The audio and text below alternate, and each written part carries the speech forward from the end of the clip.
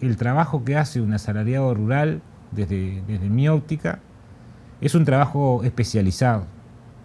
Es un trabajo con una gran responsabilidad, que tenga que ver la parte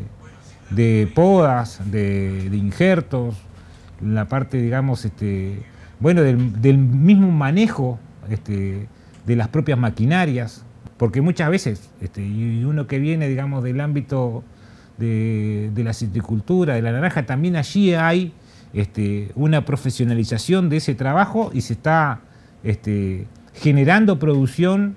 para la exportación, o sea que por lo tanto tiene un valor este, mucho, más, mucho más importante. Y que muchas veces ese, ese, trabajo desde el punto de vista profesional no es reconocido. Y creo que nos falta poder avanzar en eso. Yo quiero hacer hincapié en las cosas que uno visualiza de lo que todavía tenemos que seguir profundizando y de lo que tenemos que seguir profundizando en materia de derechos para que esos derechos que se han conquistado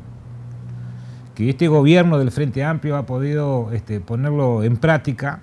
también tiene que ir de la mano cómo mejoramos el tema de los controles. Y somos conscientes de dónde partimos,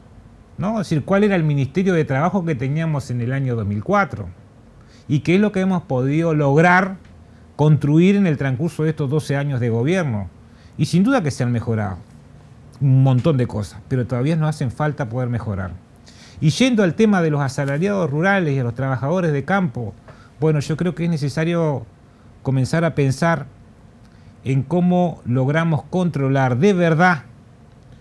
cuáles son las tareas que se están realizando, pero fundamentalmente cuáles son los derechos este, de esos trabajadores en el ámbito rural, en el medio del interior, en el medio del campo, en el interior, este, que no sean pisoteados.